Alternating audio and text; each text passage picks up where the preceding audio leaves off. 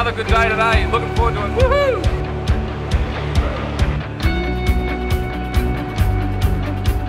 Whangamongmama, here we come. Day in paradise. Well, good morning, everybody. Day four of Targa. We're just down at the car park, well, Parc Fermé, where all the competition cars are about to get underway for day four.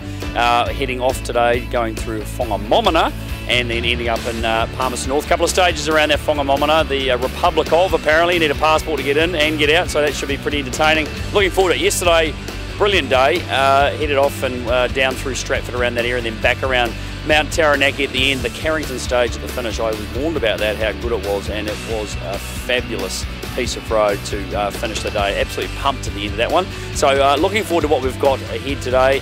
Uh, a few stages to, to get through, but um, so far all been absolutely fantastic, and the the mighty GDS has been looking after me very well. So no one's sick yesterday. The day before, Tuesday, had a few uh, car sickness problems uh, internally. It wasn't me, it was uh, other people. Must have been my driving, I suppose. But anyway, can't wait to, to get out there and see what happens on day four of Targa NZ.